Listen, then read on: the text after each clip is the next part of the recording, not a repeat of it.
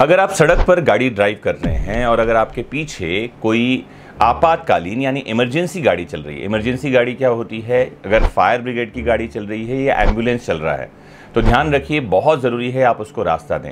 मोरली यानी नैतिक रूप से तो ये ज़रूरी है ही है, कानूनी रूप से भी ये ज़रूरी है। अगर आपके पीछे ऐसी कोई गाड़ी चल रही है और आपने उसको रास्ता नहीं दिया तो ध्यान रखिए section 194 E motor vehicle act 1988 के तहत दस हज़ार रुपए तक का जुर्माना हो सकता है।